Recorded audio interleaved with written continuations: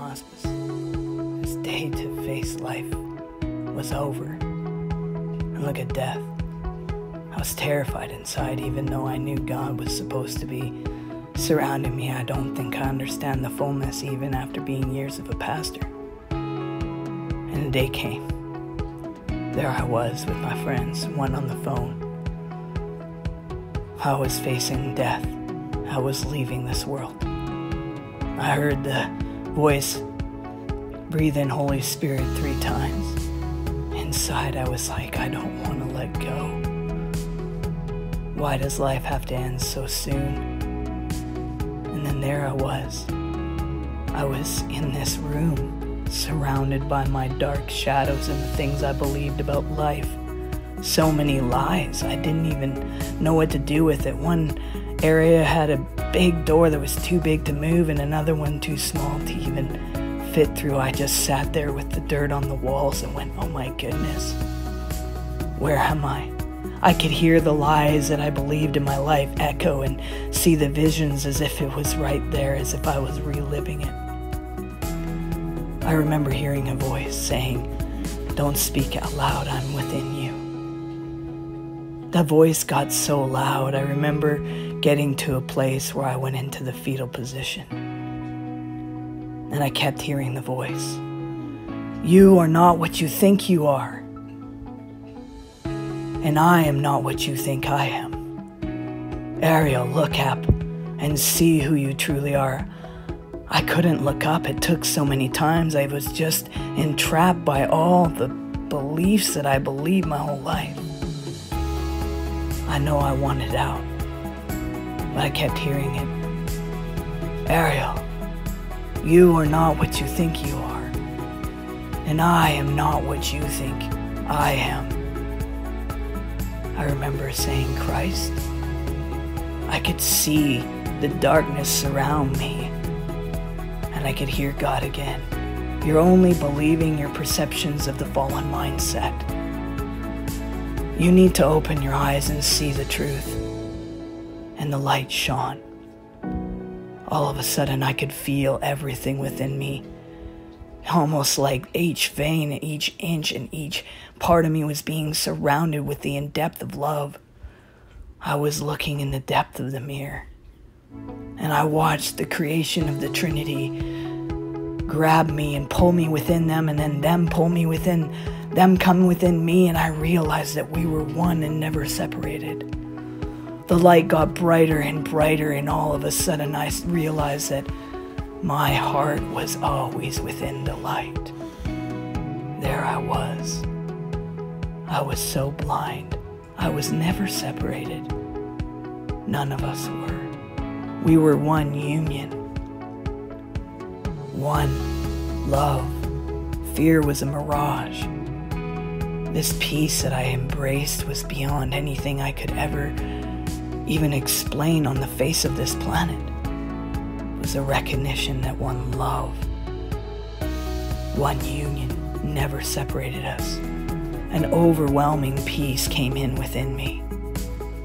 I was able to stand I was able to look directly in the mirror.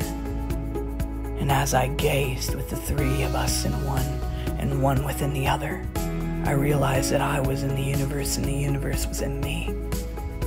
Love, kindness, grace, compassion, mercy. And in the mirror rose a lion before me. I realized that no matter what came against my tent, that nothing had to come near me, but it was my own perceptions that got in the way. The traumas I faced weren't my capital identity. They were being washed completely away, and we were all light within a stream of beauty beyond. Each family member, each person from all the ancients were surrounded, but we were one. We didn't need to think, we understood each other. I remember being in a place where we were looking in and I was seeing my sons. I knew that God was the ultimate time traveler and that everything was in God's hands. I went storming in like the lion I was. Please return me to this place that I have left. I know it was my time and so much time has passed by. But I ask you to return me with the fullness. Don't let me forget anything. May my words and me, may what I walk be known as peace in your love. As God began to cry the Trinity, I saw the truth. I realized that I would have to go and face my sons and let them know of truth that I lived lies and I didn't even teach them the right things. Even though I had to return to life, I still had to return to the intensity. The intensity of still facing a fallen mindset, a world that surrounds us with lies. I had two friends I hung on to, but I recognized what I did in the midst of that was look to them for direction that I shouldn't have looked to. How can they have direction for something they've never experienced? The one union. When I returned, I realized that we were all one, and every person I saw was a part of myself. And if anybody did anything hurtful or judgmental, it was only a reflection of something that they were going through themselves, and I didn't have to take on anything. It wasn't that easy at first.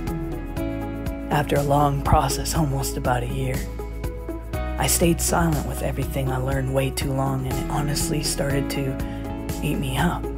I realized I needed to live in much more peace than this a union.